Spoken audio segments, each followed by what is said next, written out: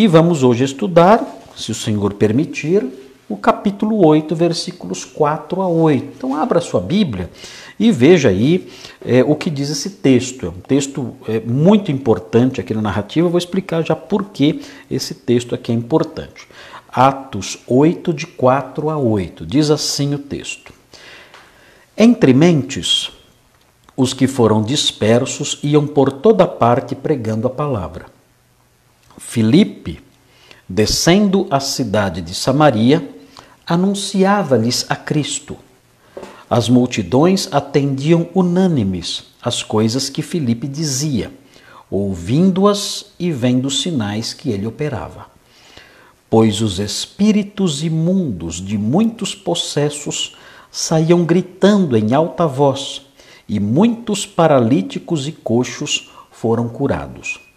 E houve grande alegria naquela cidade. Muito bem, aí está o nosso texto. É importante destacar aqui, os irmãos já estão notando, já perceberam já a partir do versículo 5, os irmãos já percebem que entra em cena um personagem que vai entrar em cena aqui no capítulo 8, mas logo vai sair de cena também. Ele entra rápido, age bastante, tem aí um, um papel muito importante, o capítulo todo é dele que é esse homem chamado Filipe, que é um evangelista. Mas note bem, antes de ser um evangelista, ele já apareceu no texto de Atos, no capítulo 6, versículo 4.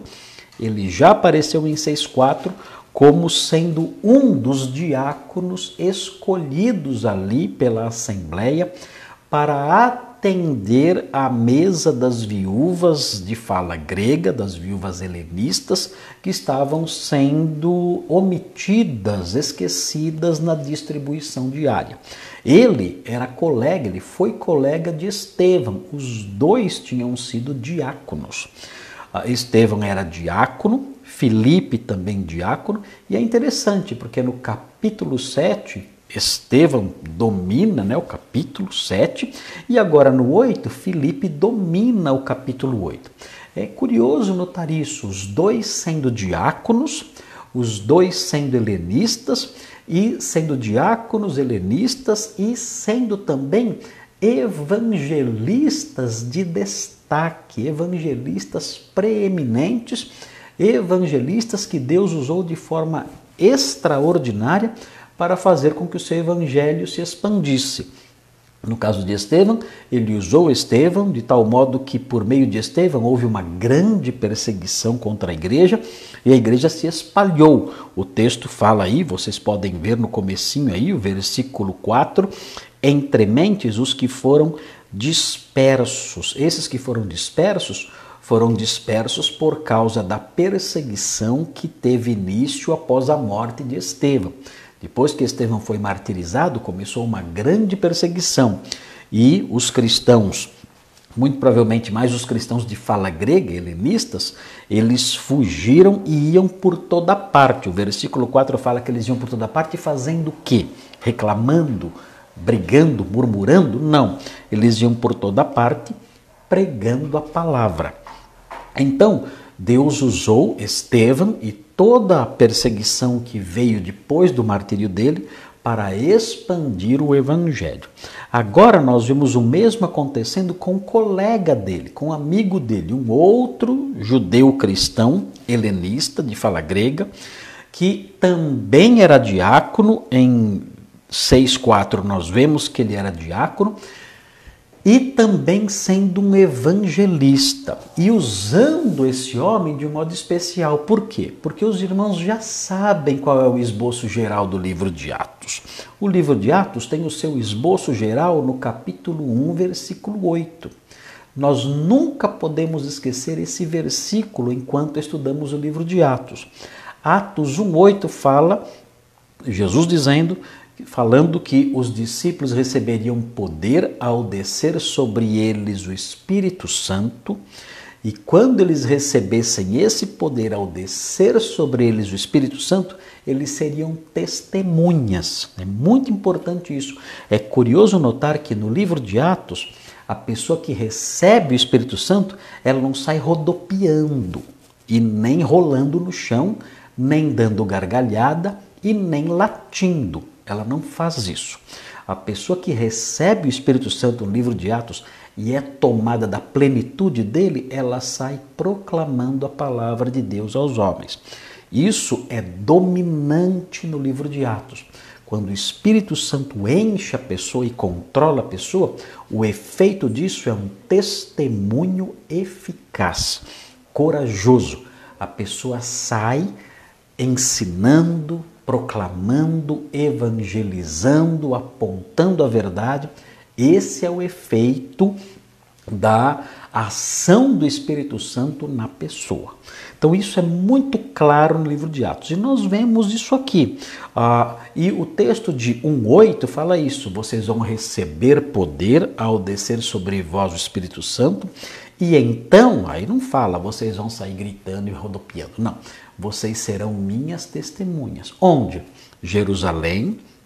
Esse é o esboço de Atos que vem agora. Testemunhas em Jerusalém, testemunhas em Judéia e Samaria e testemunhas até os confins da terra. Esse é o esboço de Atos. Então, nos capítulos 1 a 7, nós vemos eles sendo testemunhas em Jerusalém. Agora, no 8, começa eles sendo testemunhas em Judéia e Samaria. Depois, mais para frente, no capítulo 11, mas mais especificamente no capítulo 13, você vai ver o testemunho dos discípulos de Jesus chegando até os confins da terra. Mas o que é curioso notar aqui no capítulo 8 é que essa, essa segunda etapa, primeiro em Jerusalém, a segunda etapa, Judéia e Samaria, essa segunda etapa não foi inaugurada, o pontapé inicial para essa segunda etapa não foi inaugurada por um apóstolo não foi um apóstolo que foi a Samaria pregar. Depois eles vão. Você vai ver no capítulo 8 mesmo que depois os apóstolos vão até Samaria. Mas quem deu o pontapé inicial não foi um apóstolo, foi um diácono. Nossa, mas um diácono, né? Um diácono. Foi um diácono que deu o pontapé inicial para a segunda etapa do, da sequência que Jesus deu, Judéia e Samaria. E o que é curioso também, Filipe não somente deu o pontapé inicial para cumprir a segunda etapa, Judéia e Samaria, ele também deu o pontapé inicial para a terceira etapa, até os confins da terra. Como ele fez isso? Você deve se lembrar que Filipe, depois que pregou em, em Samaria e tudo mais, ele pregou para um eunuco, que era da onde? da Etiópia. Ele era o eunuco etíope, que alguns comentaristas falam que a Etiópia da época era o Sudão, na África. Então, o que, o que aconteceu?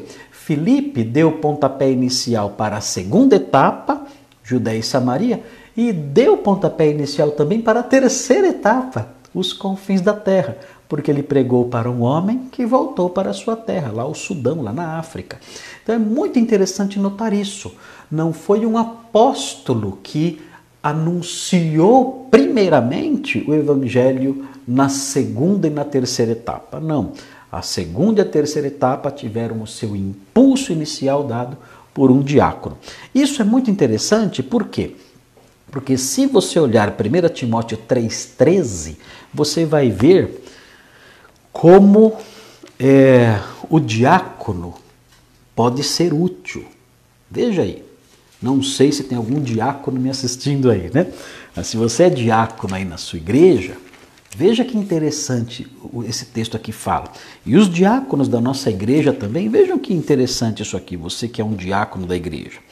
Veja o que diz, 1 Timóteo 3,13, fala assim: Pois os que desempenharem bem o diaconato, diz aqui o texto, olha o efeito alcançam para si mesmos justa preeminência, ou seja, os que realizarem o diaconato com zelo, com dedicação, com esforço, com empenho, com, com retidão, dando exemplo e trabalhando vigorosamente, eles vão conquistar o respeito de todos. eles vão ter preeminência na igreja, serão líderes de destaque, respeitados e reconhecidos na igreja.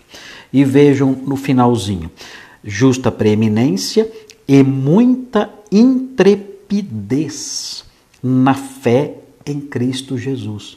Veja o que diz aqui: o texto fala que os diáconos, ah, eles, além de receberem respeito, admiração e o reconhecimento dos irmãos, eles também vão ter um coração intrépido, ou seja, um coração que não treme diante das coisas referentes à fé. Eles terão uma fé sólida, eles terão uma fé firme, eles poderão falar dessa fé com coragem, com vigor, com entusiasmo, sem temor, sem timidez, sem receio. Eles terão essa, essa coragem, essa intrepidez. E nós percebemos isso acontecendo com Estevão. Estevão era um diácono e ele mostrou a sua intrepidez na exposição da fé, na defesa da fé no abraçar a fé. E agora vemos essa mesma intrepidez em Filipe também. Ele era um diácono. O primeiro trabalho dele na igreja foi esse, diácono. E ele era diácono ainda nessa época. E ele alcançou justa preeminência, muito respeitado, e também intrepidez na fé. É muito interessante observar isso. Geralmente, as pessoas pensam que o diácono ele é apenas o dedo duro do pastor e muitos diáconos são só isso mesmo, só fiquem fazendo fofoca, falando mal das pessoas para o pastor. E ou então é o garçom da ceia, é o cara que tem que cuidar da ceia e distribuir a ceia para as pessoas. Ele é o garçom da ceia, só isso nada mais. Isso não tem nada que ver com o conceito de diaconato que nós encontramos no Novo Testamento. No livro de Atos e nas outras partes da Bíblia, o diácono, ele não é só isso. É claro que o diácono ele vai comunicar ao pastor problemas, às vezes é necessário isso, não é que ele é fofoqueiro. Muitos são fofoqueiros, mas há diáconos sérios. Na nossa igreja, graças a Deus, nenhum diácono é fofoqueiro. Graças a Deus, não temos nenhum diácono fofoqueiro em nossa igreja. Mas os diáconos, às vezes, têm que fazer isso. Fala, pastor, tem um problema que nós não sabemos como resolver, é coisa do pastor resolver. E traz então para os pastores, os pastores vão resolver e tudo mais, o diácono assume, não, eu trouxe a informação, eu estou aqui, eu assumo isso, é um problema, temos que lidar com isso, mas o pastor tem que saber disso.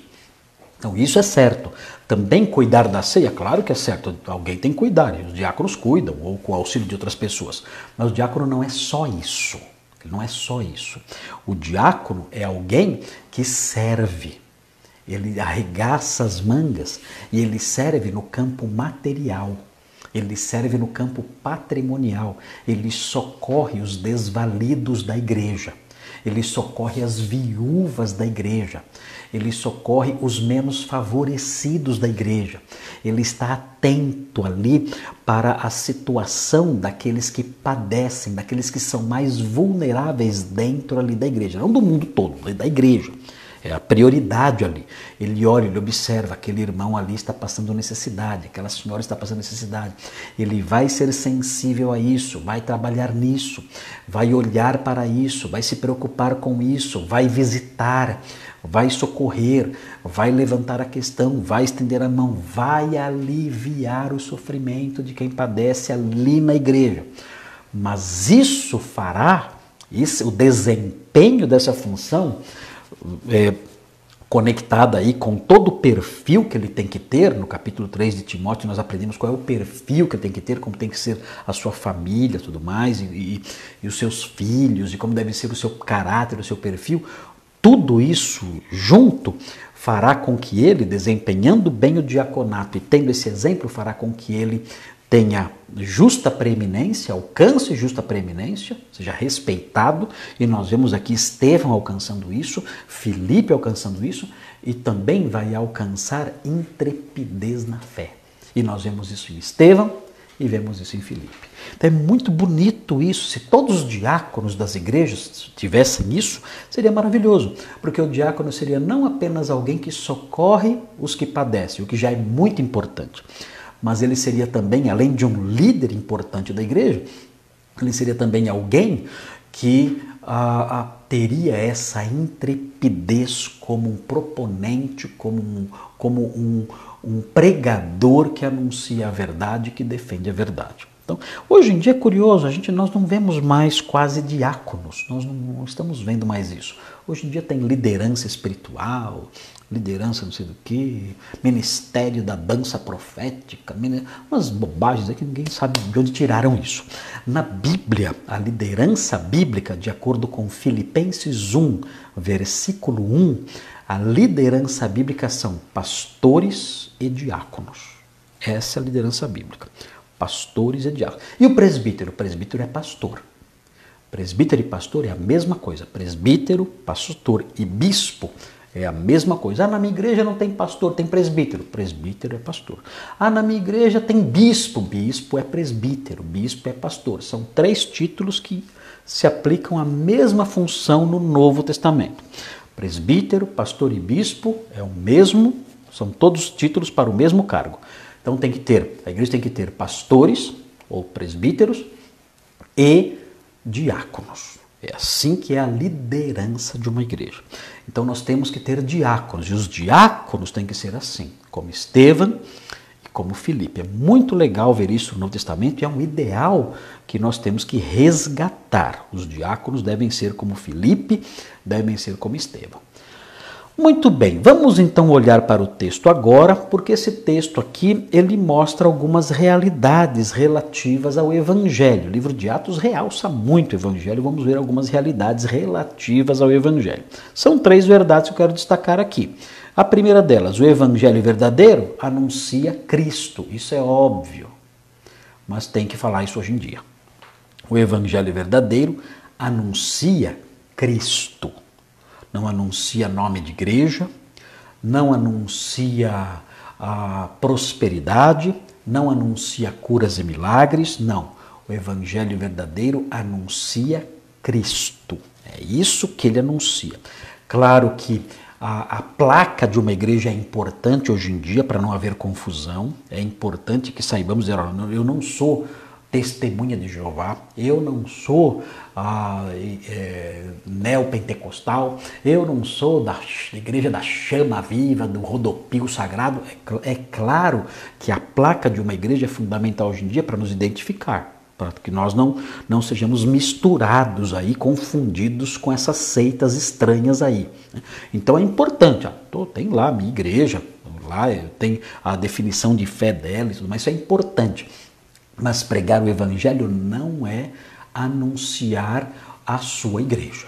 Dizer, ó, oh, minha igreja é muito legal, muito boa, é uma igreja. Isso não é pregar o evangelho. Pode até falar, você pode até gostar da sua igreja e fazer propaganda dela, tudo bem.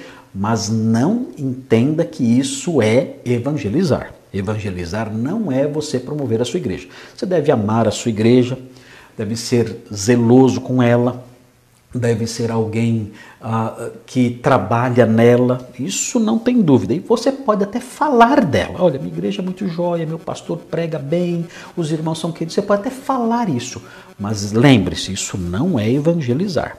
O verdadeiro evangelho anuncia Cristo. E nós vamos ver isso nos versículos 4 e 5. Outra verdade versículos 6 e 7. O evangelho verdadeiro traz libertação. É, uma, é um outro efeito do evangelho. O evangelho verdadeiro traz libertação. E nós vamos ver isso nos versículos 6 e 7, essa libertação. A libertação do diabo, em especial, nós vamos destacar aqui. E, terceira verdade, o evangelho verdadeiro gera alegria. É, é, é, importante notar, essa alegria aqui não é sair pulando, é, que é carnaval gospel, não é isso. Aqui nós vamos ver qual é essa alegria, uma alegria diferente que fala aqui o versículo 8. Nós vamos ver que o verdadeiro evangelho, evangelho gera alegria. O evangelho verdadeiro não gera lá uma igreja que parece um mausoléu, né? todo mundo morto lá dentro e ninguém fala, todo mundo triste, arrasado. Né? Não é assim. O evangelho verdadeiro gera alegria. O povo de Deus é um povo alegre. Isso não significa ser um povo desequilibrado. Hoje em dia as pessoas falam que tem igreja, é, igreja é, que é fria. Qual é a igreja fria na cabeça das pessoas? É a, é a igreja que não tem bagunça. Então, se a igreja é ordenada, ela é organizada, as pessoas param para estudar a Bíblia silenciosamente, claro, estudar a Bíblia requer um ambiente propício ao aprendizado. Ninguém aprende pulando e berrando. Então, é claro que na hora de estudar a Bíblia, todo mundo vai parar, vai abrir a Bíblia, vai ouvir e vai aprender, vai anotar. Isso requer concentração, silêncio. Isso não é igreja fria. Isso é simplesmente o óbvio. Qualquer pessoa sabe, qualquer pessoa que tenha três neurônios vai saber que para estudar e para aprender eu preciso de um ambiente ordeiro para isso. O estudo e o aprendizado não se harmonizam com um ambiente desvairado, de loucuras desvairadas. Não. Então a igreja, o pessoal chama de igreja fria, muitas vezes a igreja que não é fria. A igreja, claro que há igrejas frias, mas as pessoas chamam de igrejas frias a igreja que é ordenada, a igreja que é organizada, a igreja que na hora do estudo bíblico ela para e presta atenção e acompanha. Isso não é frieza, isso aí é a criação de um ambiente necessário para que o Espírito Santo fale, para que o Espírito Santo ensine, para que a palavra de Deus seja exposta. E dizem que igreja quente é a igreja que a, pessoa pula, berra, grita, chora, canta e levanta a mão e dá gargalhada. Isso não é uma igreja quente. Isso é, igreja, isso é um hospício. É um hospício. Não é uma igreja, uma igreja quente, fervorosa, não. Isso é um, é um verdadeiro hospício, isso é falta de equilíbrio. Crente nenhum que tenha o Espírito Santo habitando nele, que seja controlado pelo doce Salvador Jesus Cristo, crente nenhum age assim, não. Crente espiritual nenhum faz isso. Você não vê Felipe fazendo isso, Estevão fazendo isso, Paulo fazendo isso, João Batista fazendo isso, Jesus fazendo isso, os, profetas fazendo Ninguém que conhece Jesus faz isso. Então isso não é ser quente. Isso é ser um palhaço, isso é ser um bufão, isso é ser é agir como um selvagem, como um animal. E a Bíblia não aprova isso. O verdadeiro evangelho gera alegria, mas essa alegria é muito diferente do que a gente vê, essas badernas todas que há por aí que desfiguram o evangelho e, e as pessoas se orgulhando disso, achando que isso as torna crentes quentes, né? na verdade não são nada, não passam apenas selvagens berrando e rolando no chão. Muito bem, vamos então ver os versículos 4 e 5. O verdadeiro evangelho anuncia Cristo. Vamos olhar aqui o texto. O texto fala assim: ah, entre mentes, os que foram dispersos. É interessante aqui, aparece aqui a palavrinha aqui, ah, diasparentes diasparentes, a palavrinha grega que aparece aqui, lembra a palavra diáspora. Diáspora. Nós, nós, quando ouvimos a palavra diáspora, nós lembramos da diáspora judaica, traduzida para o português como dispersão. Então, os judeus da dispersão, depois que houve o exílio babilônico e o fim do exílio babilônico chegou, então os judeus se espalharam pelo mundo, é a diáspora judaica, é a dispersão. É interessante que aqui aparece uh, uma palavrinha que está ligada a isso, diasparentes, diasparentes, os que foram dispersos. Houve também uma dispersão cristã, isso é muito legal. Deus, Deus promoveu a dispersão judaica depois do exílio babilônico, e essa dispersão judaica foi muito importante. Todos sabemos que, graças à dispersão judaica, o mundo inteiro se familiarizou com conceitos como monoteísmo, com os conceitos ligados à lei de Moisés, com o conceito de sinagoga, com o conceito ah, é, relacionado ao, ao, abandono de falsos deuses, de adoração de imagens. Isso tudo, o mundo se familiarizou com esses conceitos antes de Cristo já, graças à diáspora judaica. Então, a diáspora judaica, a partir de, de é, do fim do exílio babilônico, no finalzinho do século do século VI antes de Cristo, ah, esses conceitos se espalharam e Deus usou isso até para preparar o mundo para a chegada do Evangelho. É muito interessante notar isso, o impacto, os efeitos da diáspora judaica. Os, os judeus esperavam um Messias. E o mundo começou a ter contato com essas noções antes mesmo de Cristo surgir e dos cristãos surgirem, graças à diáspora judaica, diáspora, dispersão, os judeus espalhados pelo mundo todo levando essas ideias. Aqui nós temos uma outra diáspora, é a diáspora cristã. Os crentes estavam só numa cidade, Jerusalém, agora começa a diáspora cristã eles vão se espalhar, e o texto fala aqui que eles iam por toda parte, é uma diáspora mesmo. É uma, é uma nova dispersão do povo de Deus. Deus dispersou o seu povo, os judeus, e teve um objetivo para isso. Agora, mais uma vez, uma outra diáspora, uma nova dispersão do seu povo. Eles iam por toda parte, se espalharam e faziam o quê? enquanto, enquanto eram dispersos e viajavam e fugiam de cidade em cidade, se espalhando pela Judéia, se espalhando por outros lugares, eles pregavam a palavra. Quando o texto fala aqui pregar a palavra, aqui note bem, eles não significa que eles tinham uma, um Novo Testamento lá, a Bíblia lá e pregavam, olha, agora vamos estudar o Evangelho de João, não é isso. Quando fala que eles pregavam a palavra, significa que eles evangelizavam. Esse é o sentido de palavra aqui. O evangelho é a palavra. Então eles faziam isso. Eles anunciavam o evangelho, é o sentido de pregar a palavra. Não é que eles andavam com um rolo de livro na mão e iam lá, oh, agora eu vou abrir aqui, vamos pregar, vamos falar hoje sobre Gênesis. Não, não era isso. Aqui, nesse versículo, pregar a palavra é anunciar o evangelho. Muito bem. Agora, o texto sai, no versículo 4, o texto sai desse conceito mais amplo, né? os judeus helenistas, aqui é bem possível que esteja falando dos judeus helenistas, porque os judeus, os judeus não helenistas, judeus de, que falavam ali o hebraico, eles permaneceram em Jerusalém. Os apóstolos, por exemplo, eles permaneceram em Jerusalém, eles não foram dispersos. Tudo indica que quem foi disperso aqui foram os judeus helenistas, porque judeus helenistas começaram a perseguição contra cristãos helenistas também, e é bem possível que foram os cristãos judeus helenistas que se espalharam. Os outros ficaram. Em Jerusalém ficaram os apóstolos, eles não saíram. Não agora. Agora ainda não saíram. Vão sair depois, mas ainda não.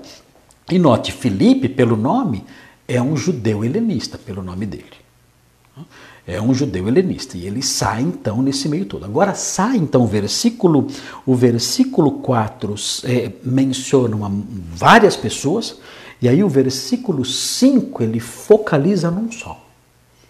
Ele focaliza num só e vai dar preeminência a esse um só que é Filipe. Então vamos ver aqui o que diz. O texto fala assim: Filipe descendo a cidade de Samaria, e aí diz o texto, anunciava-lhes a Cristo. Olha aí, cidade de Samaria. Aqui existe uma certa confusãozinha, né? Mas que cidade de Samaria é essa? Tem uma cidade chamada Samaria? Olha, teve uma cidade nos tempos do Antigo Testamento e ela, e ela é, permaneceu também ao tempo do Antigo Testamento, uma cidade chamada Samaria. Agora, Samaria no Novo Testamento é o nome, é o nome é, do distrito, é o nome da província. A província de Samaria, não é o nome de uma cidade. Mas aqui fala cidade de Samaria. Teve uma cidade, como eu estava dizendo, a cidade de Samaria, que se você quiser ver, ela é mencionada no Antigo Testamento. Eu vou dar a passagem aqui para você, não vou ler agora para não demorar muito, mas é primeiro livro dos reis, primeiro reis, 16, 23 e 24. Em primeiro reis 16, 23 e 24 é falado, fala-se da fundação de uma cidade chamada Samaria, que foi construída num lugar que foi comprado de um homem chamado Semer. O nome dele era Semer. E por causa do nome dele, Semer, a cidade construída ali, se chamou Samaria. Essa cidade, mencionada em 1 Reis 16, 23 e 24, essa cidade foi destruída ao tempo do Império Assírio. E onde está isso? Vou dar outro versículo para vocês. Segundo livro dos Reis, capítulo 17, versículos 5 e 6. Segundo Reis 17, 5 e 6, fala sobre a destruição da cidade de Samaria. Então, quando o texto aqui fala que, uh, que Filipe desceu à cidade de Samaria, é, é possível que esteja falando de uma cidade grande ali de Samaria, que pode ser a cidade de Sebaste, é um nome de uma cidade. Hoje em dia tem ainda uma Sebaste perto das ruínas da Sebaste da época. É uma vilinha lá próxima das ruínas da Sebaste da época. Que Sebaste da época era uma cidade grande, era a capital da província de Samaria nos dias de Filipe. Pode ser que Filipe tenha ido para Sebaste, ali, aliás, bem pertinho da antiga Samaria. Pode ser que ele tenha ido para lá.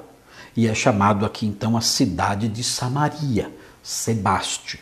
Pode ser isso.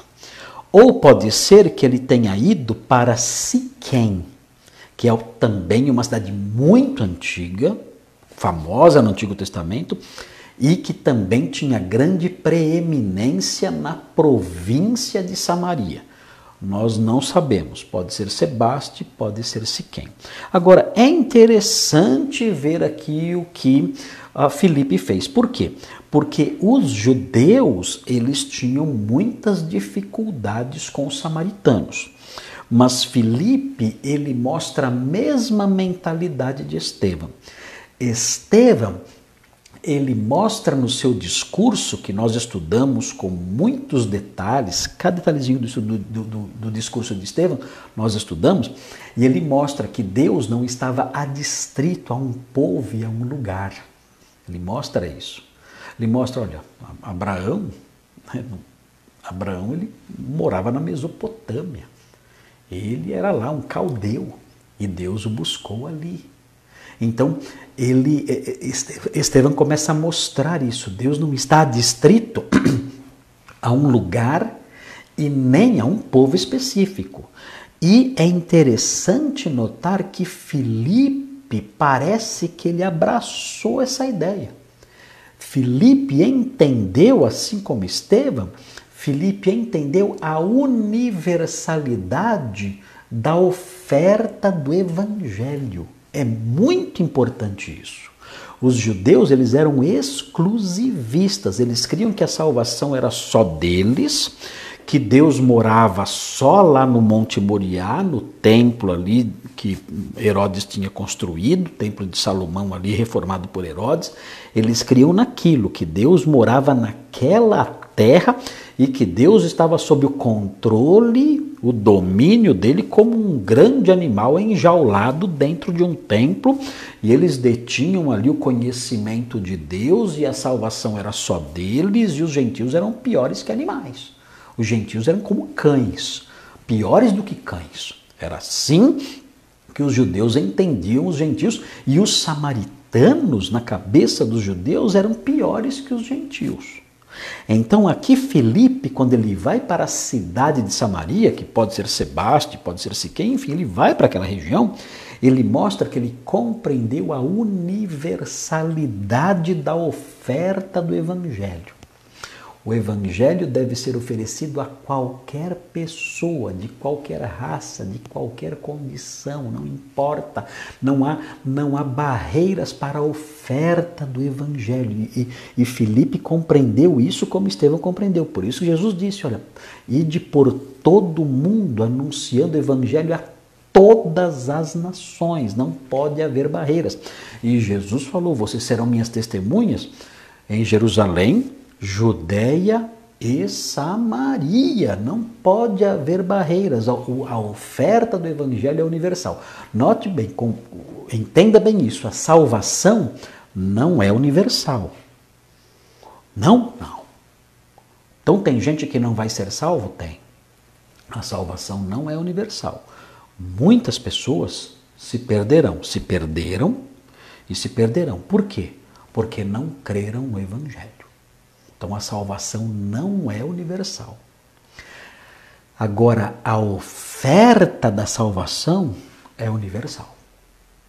Isso funciona assim na Bíblia. Ah, então, mas para que é universal a oferta se a salvação não é? Reclama com Deus. Deus falou para pregar o evangelho para todo mundo. E Filipe entendeu isso. Ele falou: não há barreiras raciais eu vou pregar para os samaritanos. E por que os samaritanos representavam uma barreira racial? Bem, tem várias informações aí acerca deles. Os, os samaritanos eles eram vistos como um povo mestiço, que não era nem judeu e nem gentil. Esse era o problema dos samaritanos. Eles eram um povo mestiço, era um misto de gente. Por quê? Porque a região da Samaria era uma região que pertencia ao reino do norte, chamado Israel. O reino do sul, que, que nos dias de eh, Roboão foi permaneceu fiel a Davi, aos descendentes de Davi, se chamava, se chamava Judá. Judá ao sul, Israel ao norte. Judá ao sul e as dez tribos de Israel ao norte formaram dois reinos separados. Foi uma divisão que houve no país. Esse reino do norte, Israel, era o lugar onde ficava a região chamada Samaria. Estava nessa região, do reino do norte. O que aconteceu? Um, no ano 722 a.C., o Império Assírio invadiu o reino do norte, a região onde era Samaria. Invadiu e levou todo mundo cativo. Só deixou ali alguns descendentes ali judeus, dos judeus, alguns israelitas muito pobres. Deixou lá, deixou ali o povo da terra, como era chamado. Os Anhaaretz, como eram chamados os samaritanos. Os Anhaaretz, o povo da terra. Ele deixou aquele povo da terra ali. Os bem simplesinhos, os bem pobrezinhos, vivendo lá uma vida miserável lá. Deixou ali. E trouxe de outras nações ele trouxe outros povos que se misturaram com o povo da terra. Olha o que aconteceu. Ele fez uma miscigenação. Ele, ele fez com que aqueles povos, o povo da terra, os, os que moravam no Reino do Norte, que tinham nascido ali, eram descendentes de Jacó, descendentes de Abraão. Ele fez com que essas pessoas que ele tinha deixado ali no Reino do Norte na região de Samaria, ele fez com que se misturassem com outros povos de fora. Aí surgiram então os samaritanos, que eram mestiços. Hum, os judeus tinham um preconceito racial terrível contra eles. Então, por causa disso, os samaritanos, eles criaram sua, seu, sua própria religião, eles tinham seu próprio Pentateuco, eles tinham o seu próprio lugar de adoração, que era no Monte Gerizim. Eles tinham lá um, um, um templo no Monte Gerizim, eles tinham isso. Eles circuncidavam seus filhos, eles falavam assim: olha, nós somos o povo de Deus. Nós temos que adorar a Deus no Monte Gerizim. E eles tinham a sua própria esperança messiânica. Eles esperavam o Taheb. O que era o Taheb? Era o Messias samaritano o Messias samaritano, Taheb, ele iria chegar um dia, Taheb significa restaurador. Ele iria chegar um dia, ele ia chegar um dia ali e ele iria restaurar o culto no Monte Gerizim. Porque o que havia acontecido? Porque eh, no século II, um príncipe macabeu chamado João Hircano tinha destruído esse, esse templo no Monte Gerizim e tinha tornado os samaritanos servos dos judeus. Então havia uma grande rixa entre os samaritanos e entre os judeus por causa disso. Os judeus tinham raiva dos samaritanos porque os samaritanos eram um povo misturado que tinha lá uma adoração no Monte Gerizim e tinha lá seu próprio judaísmo. E os samaritanos tinham raiva dos judeus porque João Hircano, no século II, tinha destruído o templo deles e tinha também colocado os samaritanos como servos dos judeus. Então havia uma grande rixa entre eles, uma grande briga entre eles. Quando chegaram os romanos, os romanos libertaram os samaritanos do jugo judaico, mas a raiva ficou. A raiva ficou. Tanto que os judeus não se comunicavam com os samaritanos. Nós aprendemos isso. Jesus, quando conversou com a mulher samaritana, ela se assustou. E ela até falou dessas coisas. Falou assim: olha, é, é, vocês dizem que deve se adorar em Jerusalém. Nossos pais adoraram nesse monte, o Monte Gerizim. Ela fala essas coisas. Ela fala: Eu sei quando o Messias vier, ele vai restaurar todas as coisas. Ela é o Tareb, o restaurador. Ela, ela, ela era uma samaritana típica. E havia esse conflito entre os samaritanos e os judeus já de muitos séculos, muitos séculos. E o que acontece? Filipe, ele vai para Samaria, entendendo não. Eles têm essa concepção errada, eles têm um pentateuco ali diferente, eles adoram no Monte Gerizim, eles acreditam que o Monte Gerizim é o monte sagrado, quando a gente sabe que não é. Eles esperam o Messias também, um Messias samar samaritanizado, né? o Messias deles, eles aguardam isso, mas eu vou lá, eu vou lá e eu vou anunciar a verdade ali para eles. E ele fez isso, ele fez isso. E o texto fala que ele anunciou ali Cristo. Isso é muito resumidinho aqui no texto, né? mas mostra que o Evangelho faz o quê? O Evangelho anuncia Cristo. E o que é anunciar Cristo? Mais uma vez, não é falar da sua igreja, não é pregar teologia da prosperidade, não é prometer saúde nem felicidade para a pessoa, nada disso. Eu já vi alguns evangelismos que são complicados. A pessoa fala: olha, se você se converter, você vai ver que maravilha vai ser sua vida. Isso não é verdade. Isso não é real. Às vezes a pessoa se converte e a vida da pessoa vira um inferno porque ela se converteu. Então, cuidado, isso não é evangelizar, é fazer promessas que Jesus nunca fez. Tem gente que evangeliza assim: se você se converter, sua vida vai mudar, você vai ser feliz, vai ser uma bênção, você será uma, nossa, vai ser uma coisa maravilhosa. E na verdade, muitas vezes é até o contrário. A pessoa se converte e aí a família se volta contra a pessoa, no trabalho começam as zombarias, as amizades vão embora, inimizades surgem. É terrível isso aí. Então, isso não é evangelizar, dizer essas coisas. Outros acham que evangelizar é discutir com a pessoa, é começar a atacar as crenças da pessoa. É Felipe chegando em Samaria e começando a brigar, dizendo: Ó, oh, não é em Gerizim que tem que adorar, não, é em Jerusalém. Não é no Monte Gerizim, é no Monte Moriá. E esse Tareb aí, que, que Messias furado esse aí, o Messias mesmo é dos judeus, não é dos samaritanos. Ele poderia brigar o tempo todo com eles por causa disso, mas isso não é evangelizar. Nós até podemos debater teologia entre nós que somos crentes e tudo mais. Nós podemos debater isso e isso até tem o seu, o seu lugar e é até bom, porque a gente aprende, né? a gente aprende muito debatendo teologia porque ouvimos coisas que a gente não tinha ouvido antes. Tratamos contextos que não tínhamos tratado antes aprendemos coisas, puxa, eu não sabia disso aqui, isso aqui é interessante, nossa, isso aqui, agora aprendi mais uma. Então é até bom.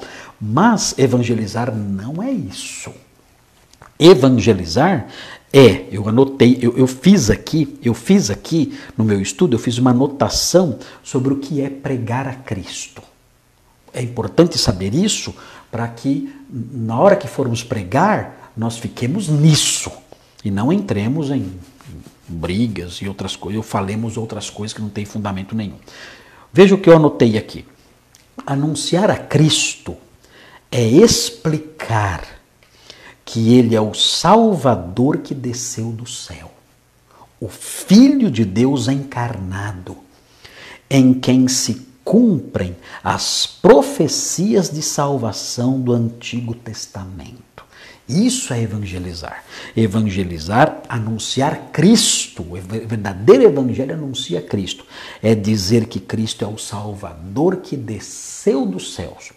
É o Filho de Deus encarnado. O Verbo se fez carne e habitou entre nós.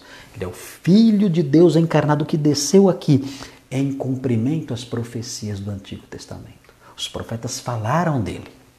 Os profetas anunciaram o Messias. Desde Moisés, lá atrás em Gênesis, falando lá, narrando o que aconteceu na época da queda, já ali o Messias foi prometido. E falando, os outros profetas também falando sobre o Messias, o descendente de Davi, aquele que é descendente da casa, da casa de Jessé, o Salvador, o ungido, o rei que viria. Os profetas falaram muito sobre ele, o Messias, o ungido de Deus, que veio aqui. Então temos que explicar: olha, Jesus é esse Messias, é esse Salvador prometido lá no passado, prometido aos patriarcas, prometido pelos profetas. Ele é esse Salvador. Continuando, aquele que foi dado em sacrifício pelos pecados. Isso é anunciar a Cristo. Eu tenho que falar do sacrifício dele, da morte dele e do significado desse sacrifício, do significado dessa morte. Porque muita gente pensa que Jesus morreu como um exemplo. Ah, ele morreu para nos dar um exemplo de dedicação. Não é nada disso. Cristo não morreu para nos dar um exemplo. Ele viveu para nos dar um exemplo, entre outras coisas, né? Não só para isso. Ele viveu para nos dar um exemplo. Claro. Pedro fala isso claramente para que nós seguíssemos nos seus passos. Mas ele não morreu para dar um exemplo de como se morre com dignidade, não. Como se morre por uma causa, não. Eu tenho que explicar. Ele morreu como um sacrifício pelo pecado. Isso é anunciar a Cristo. É o Filho de Deus que veio a este mundo, que se encarnou, para dar a sua vida em sacrifício pelos pecados para pagar pelos pecados, para sofrer as consequências dos pecados, para, para, para sofrer as consequências da culpa do pecado. E essas consequências são o quê? A morte. A morte é o salário do pecado. Ele veio para isso, para morrer pelos pecados. Isso é anunciar a Cristo. Ele ficou na sepultura? Não, eu tenho que dizer, ele ressuscitou dentre os mortos porque Deus aceitou o seu sacrifício. Ele subiu aos céus e reina. Ele é Senhor sentado à destra de Deus Pai, governando todo o universo com a sua palavra poderosa. Ele é o sustentador de tudo e ele um dia voltará e, e, ele voltará e estabelecerá o seu reino e um dia criará novo céu e nova terra. E ele tem uma herança para aqueles que creem nele. Isso é anunciar a Cristo. É isso. Então, o que Felipe fazia quando chegava nas cidades de Samaria, ou na cidade de Samaria, como mencionado aqui, ele falava isso. Dizia: Olha, sabem o Tareb que vocês estão esperando? O restaurador? Sabe? Que vocês dizem aí que vai restaurar o templo em, em, no Monte Gerizim. Na verdade, o restaurador real mesmo, ele já veio. Ele já veio e ele é Jesus de Nazaré. Jesus de Nazaré é o Deus encarnado, é o Filho de Deus, o Verbo que se fez carne e habitou entre nós. E ele veio aqui e ele morreu, ele deu a sua vida pelos nossos pecados, como um sacrifício pelos nossos pecados. Mas ele ressuscitou ao terceiro dia, subiu aos céus e reina. E ele voltará, e todo aquele que crê nele será salvo. Todo aquele que crê nele tem o perdão dos seus pecados. Todo aquele que crê nele recebe os benefícios do seu sacrifício remidor, do seu sacrifício libertador.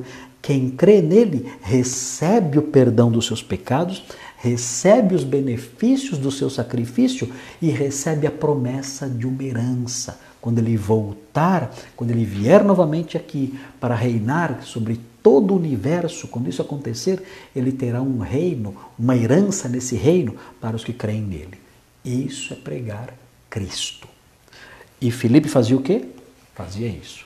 Anunciava Cristo.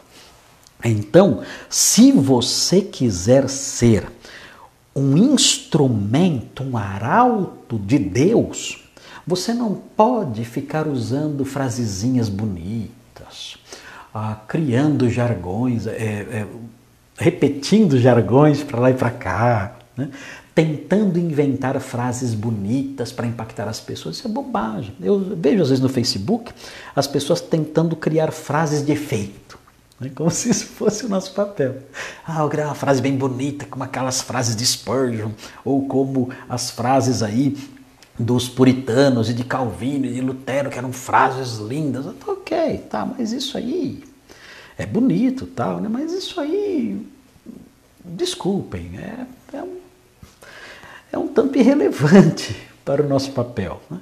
O nosso papel não é criar frases bonitas e mostrar que somos criativos. Se nós queremos ser realmente úteis nas mãos de Deus, como arautos dele, nós temos que anunciar a Cristo. Temos que fazer isso. Essa é uma preocupação muito intensa que eu tenho, eu pessoalmente tenho. Eu procuro em todos os meus sermões, em todos eles, as transmissões todas que eu faço, eu sempre procuro fazer isso. Encaixar no meu sermão uma mensagem de a mensagem do evangelho, a mensagem da salvação. Eu geralmente eu falo para crentes, né? A grande maioria das pessoas que me escuta ah, é, é integrada por crentes na minha igreja, os outros que acompanham as transmissões e outras pessoas por aí afora, a maioria são pessoas crentes, mas mesmo assim, em todos os meus sermões eu tento encaixar ali uma palavrinha sobre a salvação que é em Cristo. Porque eu já soube, as pessoas me escrevem, e eu já soube de várias pessoas que ouviram isso e se converteram. Não eram crentes, mas estavam assistindo. Deus dirigiu ali, Deus apontou, ah, abriu o caminho, a pessoa acabou caindo na nossa transmissão e ouviu o evangelho e se converteu. E depois escreve dizendo lá: Olha, eu, eu me converti numa pregação assim, assim e tal. Então, eh, por isso eu sempre procuro enfatizar isso. Por quê? Porque se nós quisermos ser arautos de Deus ao mundo perdido, como Filipe foi, nós temos que fazer isso. Não uh, anunciar frases bonitinhas, nem querer agradar as pessoas com, com discursos amigáveis, né? Ah, não, todos somos irmãos. Isso, nada disso vale nada. Se quisermos ser arautos de Deus neste mundo perdido, nós temos que anunciar Cristo. É isso que temos que anunciar. Muito bem. Vamos aqui então na sequência, hum, já está ficando tarde já, né?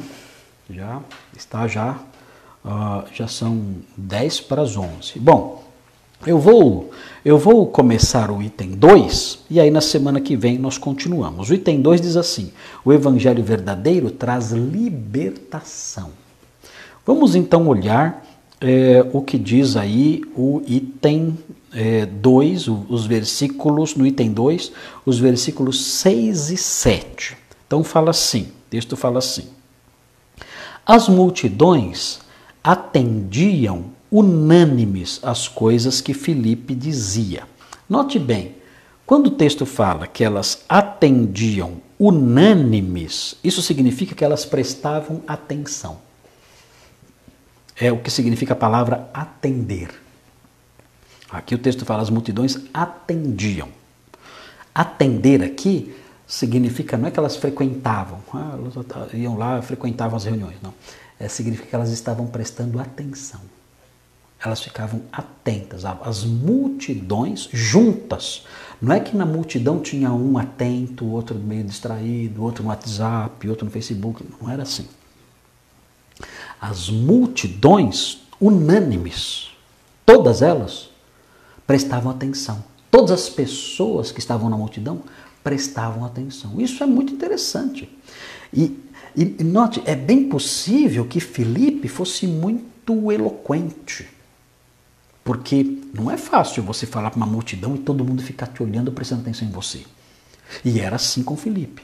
Ele pregava com tanto entusiasmo, com tanta eloquência, com tanta convicção, com tanta força, que as multidões ali daquela cidade ficavam com os olhos fixados nele, ali prestando atenção ali sem se desviar. Ele devia ter sido um pregador simplesmente fantástico, porque geralmente uma pregação na rua há muita dispersão, o pessoal começa a zombar, é complicado, eu sei, eu já preguei na rua várias vezes, já fiz muito trabalho de rua aí, de evangelismo de rua, é, não, é, não é fácil não, conseguir a atenção da multidão não é fácil, porque tem o pessoal que tenta desviar a atenção, tenta, o pessoal tenta ofender, xingar, agredir, mas, eh, ah, claro, tem a atuação do Espírito Santo aqui, né? Claro que o Espírito Santo moveu aquela multidão, trabalhou naquela multidão para que todos ficassem quietos ali, mas tem também, certamente, a habilidade de Filipe. Filipe, muito capaz, muito eloquente, cheio do Espírito Santo, ele falava e as pessoas ali de olhos arregalados, unânimes ali, prestando atenção no que ele falava. O fato dele ser um judeu é, ali, né, de Jerusalém, já devia criar uma barreira. Mas mesmo assim, eles tinham raiva, talvez até, mas mesmo assim, eles ali ouvindo. Imaginem um, um, uma, uma, comparação bastante tosca, mas imagine um corintiano chegando à torcida do Palmeiras e começar a falar com a camisa do Corinthians. E todos os palmeirenses ali. E ele começa a falar. E a, e a torcida toda do Palmeiras para. E ficou ouvindo o corintiano falar. Meu Deus, o que é isso? Jamais. É, é, assim que o corintiano abrisse a boca com aquela camisa, ele seria atrocidado pelos palmeirenses. Claro, o que nós temos aqui é algo diferente. Chega um judeu numa grande cidade de Samaria, ali talvez na capital, ele é visto com hostilidade, ele é um inimigo. Ele é alguém que o pessoal detesta, um judeu. Um judeu que veio de Jerusalém. Ele chega e ele começa a pregar. E a multidão toda para e fica ouvindo atentamente ali. Ah, e, é, e é, o que é interessante notar é que o autor de Atos, Lucas, ele destaca isso como algo positivo a atenção das pessoas. É como se Deus estivesse agindo ali. E as pessoas então eram captadas, eram, eram, eh, elas eram fisgadas pela mensagem e ficavam assistindo à exposição de Filipe atentamente. E aí o que acontecia também, é interessante outro fator, ele pregava e o texto fala que elas prestavam atenção e observavam também os sinais, elas viam também os sinais que ele operava. E que sinais eram esses? Muito simples, é só olhar o versículo 7. Olha quais eram os sinais que ele fazia no versículo 7. Simplesmente fora, fora do eixo, fora do normal. O que ele fazia? O texto fala que os espíritos imundos, demônios, de muitos possessos saíam gritando em alta voz. Faziam isso. Ele expulsava demônios. Pessoas dominadas, possuídas por demônios, pessoas que eram escravizadas por demônios, possessas, possuídas, ele expulsava esses demônios. Note, ele não conversava com esses demônios. Vem cá, qual é o seu nome? É, o que está fazendo aqui? Você gosta de, de, de cocaína? Não, ele não fazia isso. Ele expulsava e os demônios saíam gritando, berrando. Vocês lembram ali do, do, do, do sinédrio? O sinédrio é, é, gritava em alta voz. Lembram? Com Estevão? Aqui é a mesma expressãozinha. Grande voz. Os demônios também gritavam. Parece até que eram meio parentes, né? O sinédrio e os demônios estavam meio assim, ó. Porque quando Estevão pregou, o sinédrio gritava em alta voz. Aqui, quando Felipe prega, os demônios gritam em alta voz. Então, estão, meio unidos aí pelo seu comportamento. Gritar em alta voz é, diante do evangelho, é algo próprio do diabo mesmo.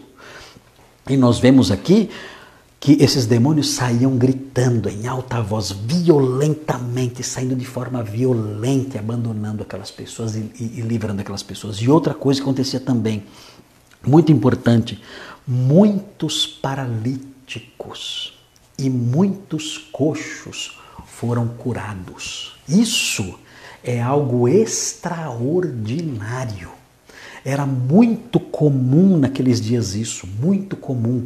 Nós aprendemos nos primeiros capítulos de Atos que as curas realizadas pelos apóstolos e pelos cristãos naquela fase inicial do evangelho eram curas inequívocas e numerosas. Ah, ah note bem, isso é assim, Deus cura pessoas hoje, cura, mas não dá para comparar. Não dá para comparar. Eu conheço pessoas que foram curadas de modo maravilhoso, conheço pessoas assim, sei de histórias assim, mas ah, eu nunca vi, eu nunca vi um paralítico, alguém que tem, por exemplo, paralisia infantil, que está lá, não pode andar, tem a perna atrofiada. Eu nunca vi, na minha vida toda, eu, eu, eu estou na igreja desde que eu nasci. Eu nunca vi, eu, e, e mesmo eu não, não, não, não conheci só o contexto tradicional. Eu, eu trabalhei também, eu nunca fui pentecostal, mas eu trabalhei no meio pentecostal por 12 anos, pregando igrejas pentecostais, sem ser pentecostal. Pregando igrejas pentecostais, ensinando em seminários pentecostais, viajando pelo Brasil e indo em igrejas pentecostais. Eu nunca vi um aleijado uma pessoa com paralisia infantil ser curada. Deus pode fazer isso? Claro que ele pode. Pode curar mil se ele quiser. Mas é diferente hoje naqueles dias. Naqueles dias, nós vemos aqui a descrição de muitos e muitos e muitos paralíticos e coxos sendo curados. Isso era de impressionar demais, a multidão ficava perplexa. Imagine, vocês já viram já uma pessoa com paralisia infantil, por exemplo? Você já viu como é a pessoa? O paralítico, a perna dele atrofia.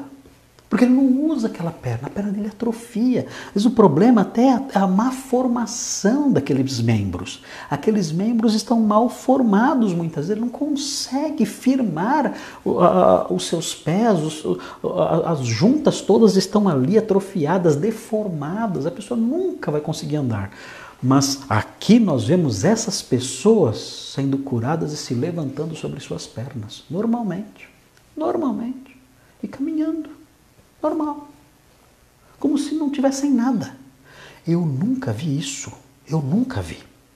E, e é possível hoje em dia os crentes viverem a vida todinha sem verem nenhuma vez isso. E quando alguém fala para mim, eu vi, a pessoa viu isso uma vez, na vida toda. Você conversa lá com um velhinho lá, ele fala, olha, eu, eu vi isso uma vez, eu vi, eu vi um cego ser curado. Quantas vezes? Ah, vi uma vez na vida. Uma vez na vida eu vi isso acontecer. Aconteceu mesmo, Deus curou, tá? nós oramos, ele curou e eu vi isso. Mas é raro, é raro, por quê? Porque naqueles dias Deus operava esses milagres para autenticar a mensagem do Evangelho. Por isso, esses milagres eram tão numerosos. Se alguém fala que hoje em dia é igual àquela época, não. Deus é o mesmo, Jesus é o mesmo, mas a forma como Deus agiu naquela época e a forma como ele age hoje é diferente. Isso não tem como negar. Isso tem como. É só conversar com os crentes que estão na igreja há muitos anos. Mesmo aqueles que, que falam que tem milagre todo dia. Cadê? Onde estão esses milagres? Só na cabeça deles. Não existem. Nós cremos em milagres, mas nós sabemos que hoje em dia é diferente daquela época. Naquela época era muito, eram, eram muitas pessoas que eram beneficiadas por essa dádiva. Hoje em dia, nós ouvimos uma história e ao longo de 50 anos. 50 anos, ouvimos falar de uma história, de um caso. Ah, aconteceu lá na África. Ah, aconteceu na época do meu avô. Ah, eu vi uma vez. Ah, depois de... E muitos depois se descobre que era fraude. Aí que é pior ainda, né? Muitos que a gente ouve falar, depois quando vamos verificar, descobrimos, ó, não era não, não foi cura não, que lá foi engano, foi enganação, foi fraude, foi estelionato. Então é muito diferente. Então por que isso acontecia naquela época? Dá uma olhadinha, nós vamos olhar aqui, ó, ver rapidinho, vou acabar aqui, depois a gente continua na semana que vem. Hebreus 2, 3 e 4. Por que isso era tão comum naqueles dias, esse tipo de libertação? Hebreus 2, 3 e 4. Deus pode fazer isso hoje? Pode. Ele faz hoje? Faz. Mas é como naquela época? Não, não é. Veja, Hebreus 2, 3 e 4. Por que era tão forte? Porque era tão frequente. O texto fala assim, Hebreus 2, 3 e 4. Como escaparemos nós se negligenciarmos tão grande salvação, a qual, tendo sido anunciada inicialmente pelo Senhor, foi-nos depois confirmada pelos que a ouviram. O Senhor anunciou essa salvação e as, aqueles que a ouviram confirmaram. Quem foram aqueles que a ouviram? Os apóstolos. Os apóstolos, os primeiros cristãos, ouviram essa mensagem e confirmaram. Como eles confirmaram? Como eles mostraram que aquela, que aquela mensagem era verdadeira? O autor de Hebreus explica, e note, ele está falando aqui no passado. Ele está falando de algo que tinha acontecido no passado, na, na época anterior à sua. Ele fala, eles confirmaram como? Versículo 4. Dando Deus testemunho juntamente com eles, por sinais, prodígios e vários milagres e distribuições do Espírito Santo segundo a sua vontade. É isso que aconteceu. Jesus anunciou a salvação e aqueles, os primeiros ouvintes, os apóstolos, confirmaram aquela mensagem. Como eles confirmaram? Por meio de muitos sinais e milagres e tudo mais. O autor de Hebreus narra isso como sendo algo que tinha acontecido já. Ele escreveu no ano 68. Isso tinha acontecido nos anos 30 e pouco, 40 ah, e pouco. Essas coisas foram acontecendo. Nos dias de Hebreus, de acordo com esse versículo que fala do passado, essas coisas já não eram mais assim. Por isso que ele se refere, olha, isso aconteceu lá atrás.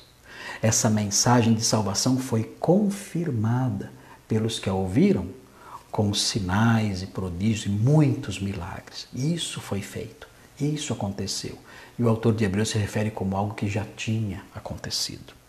Por quê? Porque a mensagem era nova e precisava de confirmação.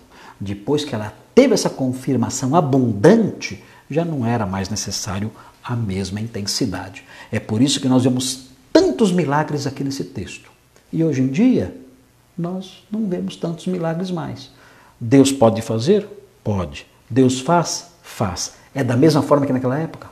Não, não é. Infelizmente. Eu gostaria muito que fosse, seria maravilhoso. Mas não é mais daquela época, porque a mensagem já foi confirmada por sinais e milagres realizados pelos que a ouviram da boca do Senhor. Bom, na semana que vem nós vamos continuar, porque nós vamos falar so, mais sobre a libertação, vamos falar mais sobre os cativos do diabo. Vamos falar mais sobre isso aí.